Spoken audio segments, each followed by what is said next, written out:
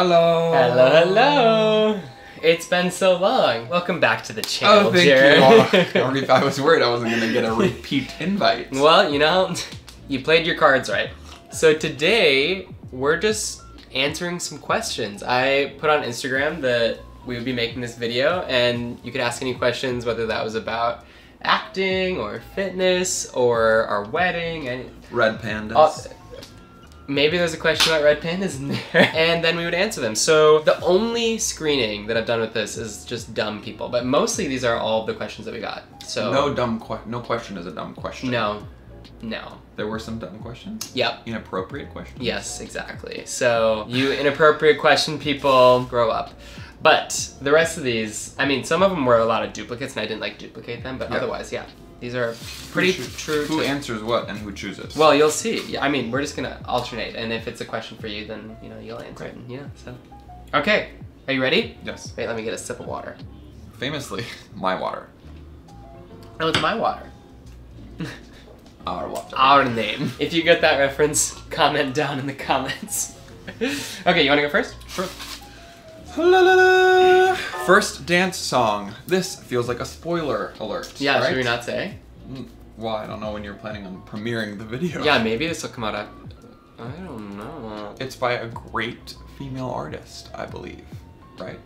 Absolutely. One of her hits. My favorite. Famously not Taylor Swift. Absolutely not. Sorry. That's all you get for that one. Um, Sorry. Yeah. You know what would be a fun song? We both enjoy Whitney Houston's Run to You.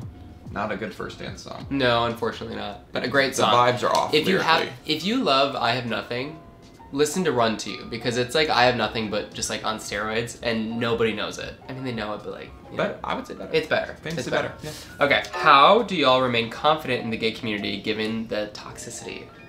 Wow, fascinating. Confident. right off the bat, jumping into yes. Um, I don't know. I feel that I'm a part of the gay community, but I don't feel like that is my only community. Mm-hmm. Yeah, I- that's important.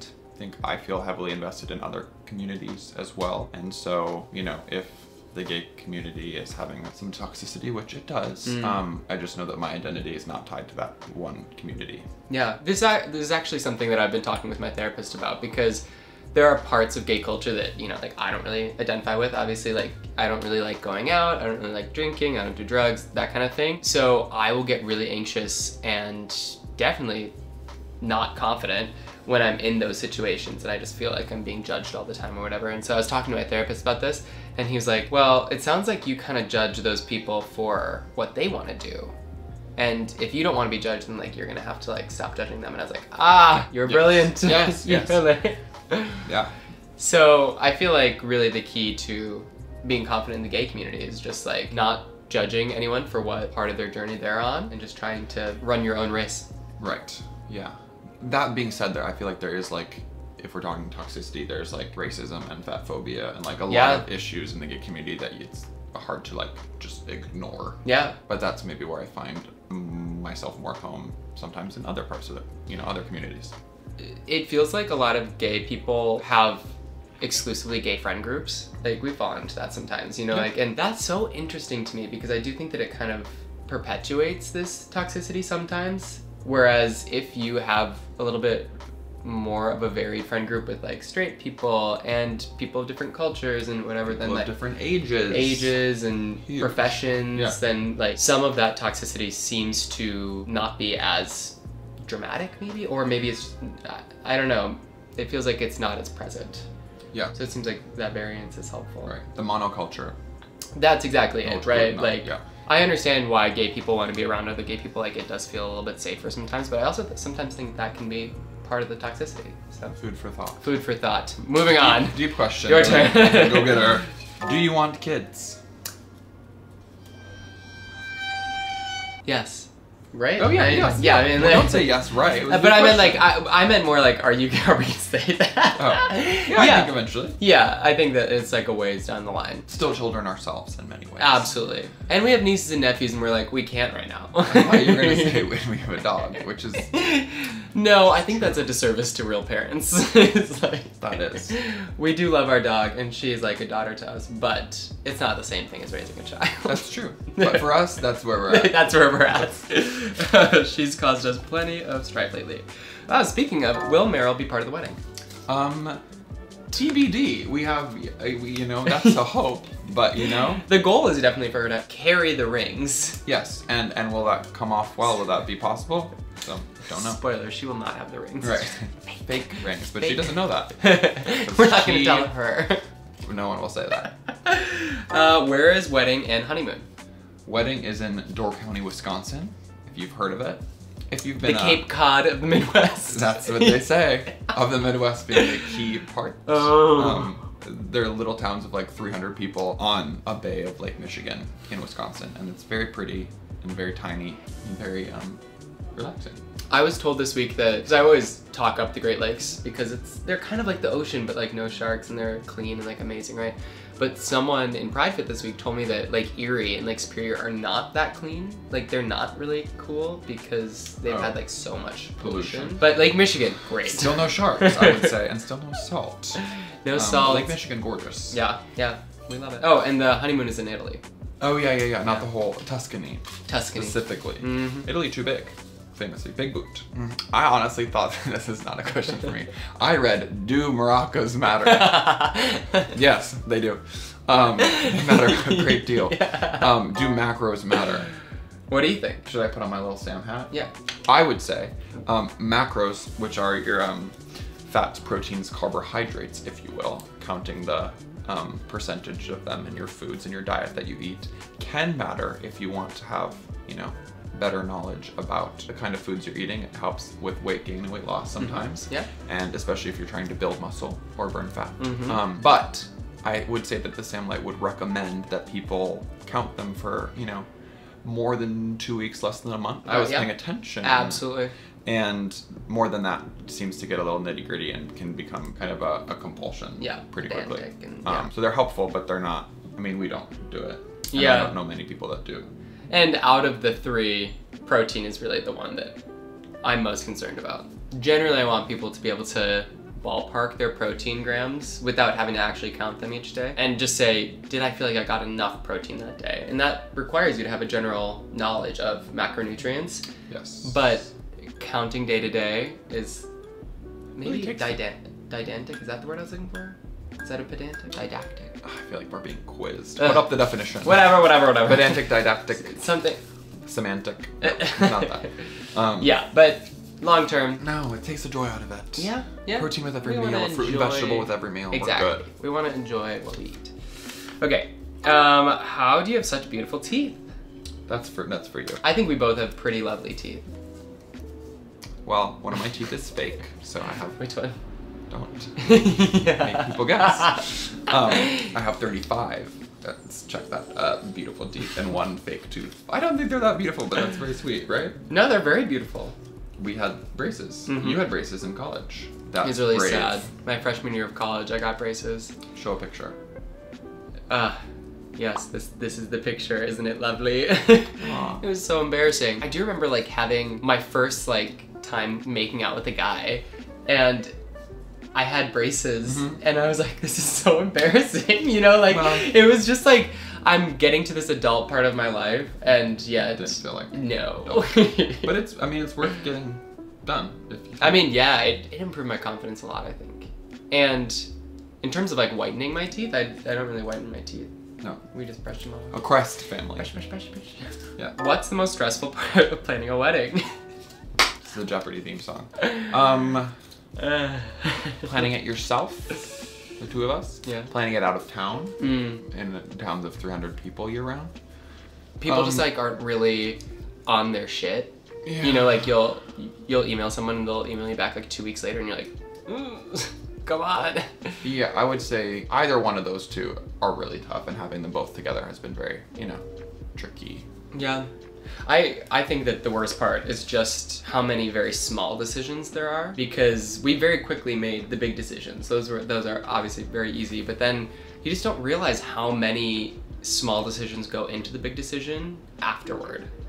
And I was talking to my auntie Patrice about this. You have to make the small decisions because people keep asking you about them. Yeah. But Asking no one is going questions. to remember the color or fabric of the napkins at your wedding. I- Make the decision. I know. Um, it shouldn't even be a decision. Yeah, yeah, yeah. The caterer should just be like, if This you want those you plates, it comes with those napkins. no one's gonna remember. I don't Absolutely. remember, and I have a great memory for details. Yeah, that's that's. It just doesn't part. matter. It but just doesn't matter. It's kind of become an industry of like every detail counts, and But it like makes you put so much pressure on it that it needs to be like a perfect thing too, and it doesn't. It just needs to be a lovely day where like people you love is are coming to celebrate you. It doesn't need to be perfect. It doesn't. Nope. Like nope. Release expectation. release expectation. Ah, namaste. Okay. I thought that well, my team might have something to say about this, but they have. It's not part of it. what are you wearing for the wedding? That is a surprise. Can you give them a little idea? Yes. You can go on Broadway and see a very similar costume. Wow. That's true. We're both wearing flapper dresses. Oh, um, let me see. What show would that Which be? seems oh, absolutely insane. uh, New York, New York. Because they're all wearing suits. I mean, yeah, but I feel like one of those suits probably is. No, pretty specifically. I actually saw a picture the other day and I said it Um, give me a hint. unintentionally. We're not gonna say. Oh, wow. That's a little embarrassing. we'll tell you after the fact. okay, next. Right? Yeah, yeah. It's giving. It's giving. what? Yeah, but we're both not. No. Oh, no, it's empty. Um, or maybe we can put it. We're gonna put it over here. God. Fish Creek or Fish Crick? Did you write this? I did, but I didn't like clearly, write okay, it right, yeah, right, yeah, right. yeah. Um, would you care to explain? People in Wisconsin will call a creek a crick. I had a creek in my backyard growing up in Wisconsin, and my dad definitely called it a crick. It's Fish Creek. It's spelled C R E E K, not C R I C K. So Right. It's a weird Wisconsin vowel. it's a weird Wisconsin vowel. They don't actually do that a lot with other. I mean, I can't think of another I say- vowel that they mess No, up. no, but we do say bag instead of bag. It's the AE that really gets bad. Hard A. Yeah. Yeah, yeah. Why did you choose to become actors? Hmm.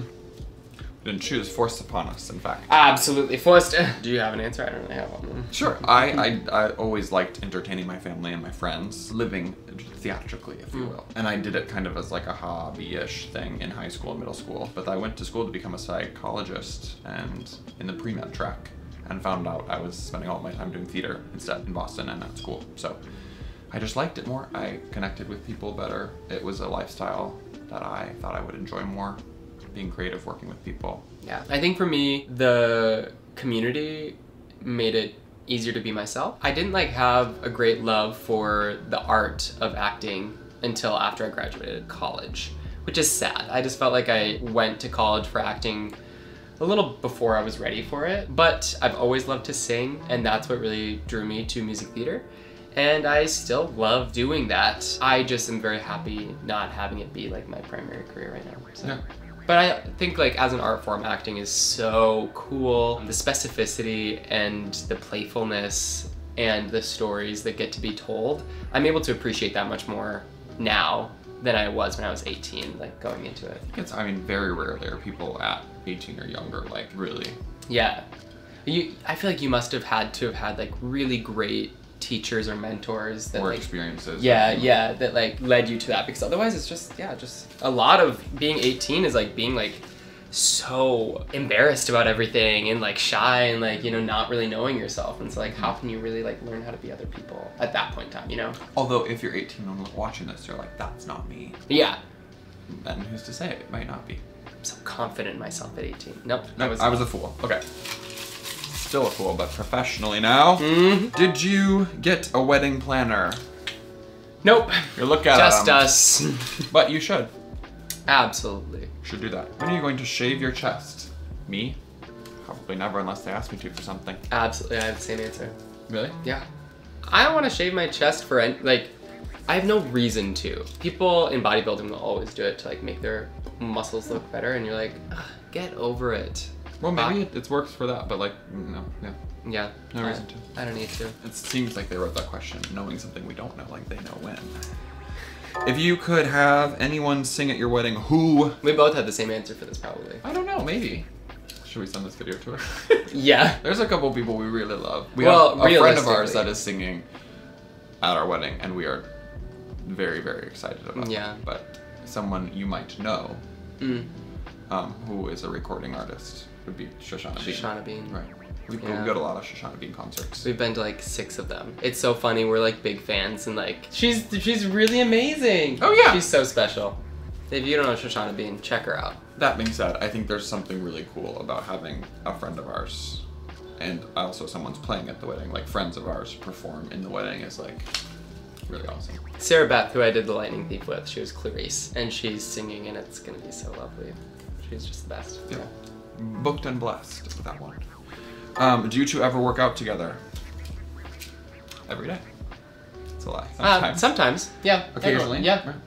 It depends on what we're doing. Like, if we're doing, if we are members of a CrossFit gym, then we'll take classes at the same time, stuff Mhm. like that. Sometimes we'll be doing private build together or something like that. Um, it's just about schedules. Yeah. This summer has been tough because schedules have been wild. We like running together. Yes. Yeah. It's a good time to catch up. Mm-hmm. Um, and I would prefer to work out in the afternoon, and Sam would prefer to work out in the morning. So. I'm just not gonna get it done afternoon. I'm too tired, too sleepy. Do you have any food intolerances that make it hard to eat healthy? Uh, I did an elimination diet and it said no. That being said, doesn't eat peppers, doesn't really eat onions. Oh, so- that's true. Yeah, I got the stomach flu on peppers once, and I either am allergic to them or it was just bad timing. But since then, I have not. To be fair, he ate like four bell peppers, like apples, at one time, which I think the capsaicin. I don't know. This is gonna make us look dumb. I don't. No one knows what that is. No, it's the little, it's the peppery chemical in peppers. Um, No. If you have too much of it, it can really mess you up. So. Yeah, I mean that could have been it, but I, I'm kind of uh, lactose intolerant. Dog. kind of. Well, kind of. I can have some lactose. Yeah, yeah, yeah. yeah. But we all are kind of lactose intolerant, I would say. And uh, that doesn't technically make it harder to eat healthier. I think it would be healthier for me to eat less cheese and ice cream, but I would be sadder. So, Yeah, I mean, like, dairy products are generally high in protein, so that is a little difficult if you're lactose intolerant, like, really lactose intolerant. no yogurt. No Greek yogurt. Cheese. Cheese Even, like, whey protein can screw you up a little bit, so. We soldier on. We soldier on. How do you stay committed to fitness? This I'm interested in your answer for this. My answer was that I was not a very committed fitness boy. Not that I really am now, but I'm much more now until the pandemic and I had a lot of Mm. time on my hands and a deep overwhelming sadness. and I found mentally I do much better with a consistent fitness schedule and that really and also like living with you helped me develop that habit. Yeah. But I was like a oh, maybe twice or three times a week if I could and it was all over the place.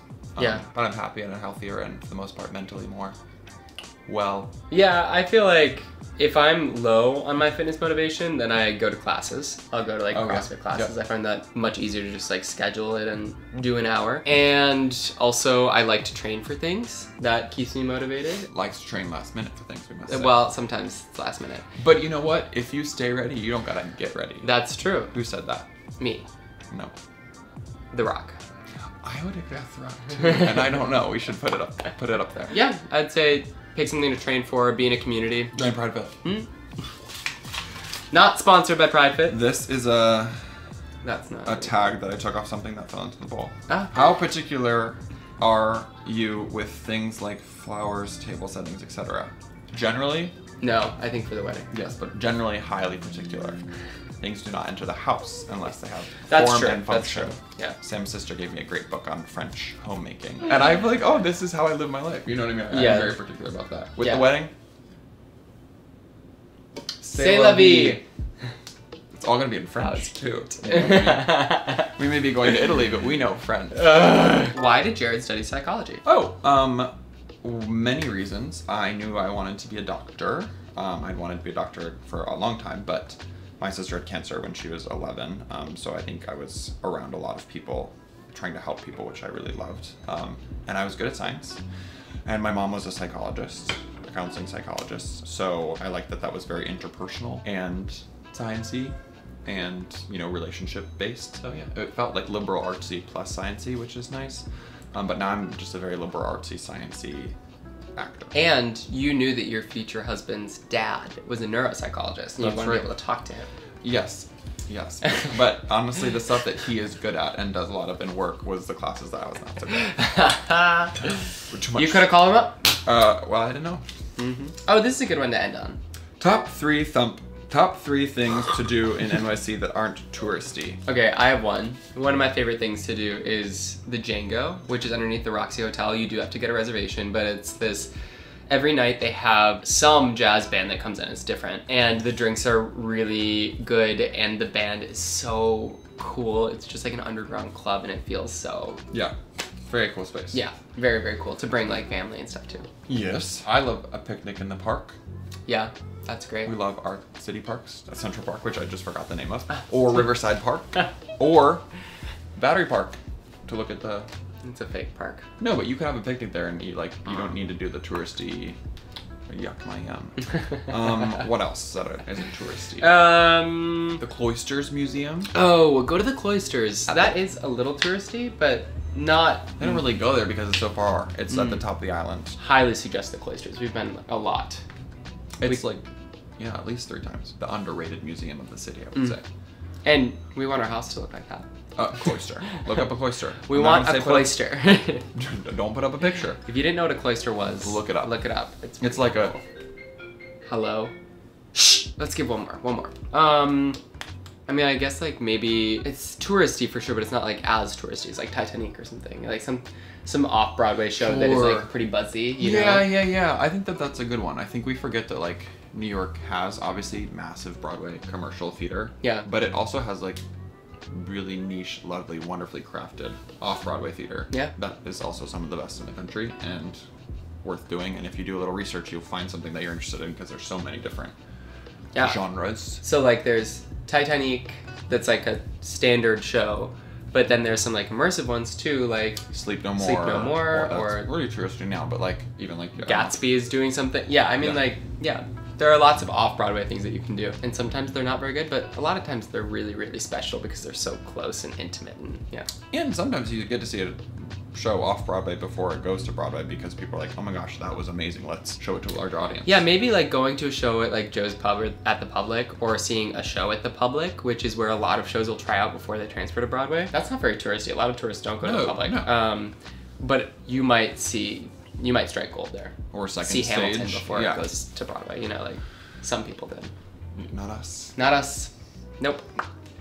Well, Well, How lovely. How nice. Thanks for doing This- that. Of course, so sweet. Love mm, you. love you. Mm. Mm. Thank you. Okay, we'll see y'all next time. Au revoir. Uh, yeah. I wonder if this can come out before the wedding. Avredici. He's really sorry. Attenzione, pickpocket. Arrivederci. Bye. Bye.